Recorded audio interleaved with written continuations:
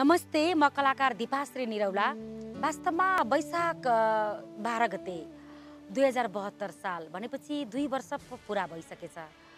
त्यो काली लाग्दो दिन कतिका मन दुखेको दिन तर के गर्नु? सत्य यही नै हो।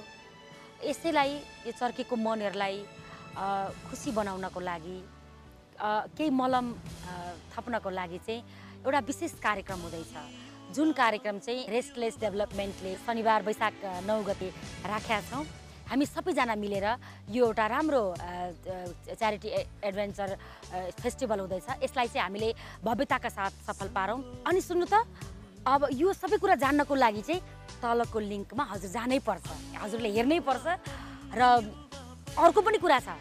सिट चाहिँ सीमित छ है।